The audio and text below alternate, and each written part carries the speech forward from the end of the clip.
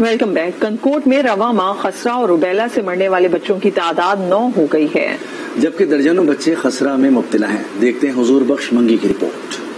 कंदकोट और उनके गिरदो नवा में खसरा रुबीला में रवा माह के दौरान मरने वाले बच्चों की तादाद नौ हो गई। शहर के वर्कशॉप मौला के चार बच्चे चार साल कासिम दो साल गुलन चार साल अकबर और एक साल वसीम खसरा रुबीला से जहाँ बक हो गए। वाले का चार बच्चे मर गए तो टीमें क्यों नहीं पहुँची? पता नहीं है आप लोगों को पता होगा। क्या मुतालबा है आपका? मुतालबा ये है टीम आ जाए दवा दारू कुछ मिल जाए कुछ हमारे बच्चों को खुराक मिल जाए। मुतासरी नहले खाना ने एहतजाज करते हुए खसरा में मुबतला बच्चों के इलाज का मुतालबा किया। तो दूसरी जानब खसरा रूबीला के हवाले से ओ हेल्थ डॉक्टर एहसान दहानी ने आज न्यूज़ से बात करते हुए कहा कि खसरा की टीमें रोज़ाना की बुनियाद पर वैक्सीन करने घर घर जा रही है।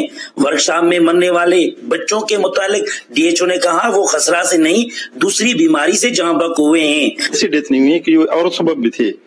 और रिपोर्ट जो हमें केस होते हैं तो हम वो रिपोर्ट करके वैक्सीनेशन शुरू कर देते हैं। वहाँ के सैंपल कलेक्ट करते हैं, भिजवा देते हैं इस्लामाबाद एनआईएच में। जब वो सैंपल पॉजिटिव या नेगेटिव आ जाते हैं, तब वो पेशेंट हमारा कंफर्म होता है कि ये मिजल्स का केस है।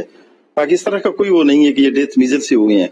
मिजिल्स का कोई केस इतने नहीं है और हमारे पास एक्टिव केस भी इतने नहीं है। इंतजामिया के मुताबिक खसरा पर कंट्रोल किया गया है जबकि मुतासरीन ने एहतजाज करते हुए खसरा में मुबतला बच्चों के इलाज का मुतालबा किया। अब देखना यह है कि इंतजामिया मुतासरा इलाकों में टीमें रवाना करती है या नहीं।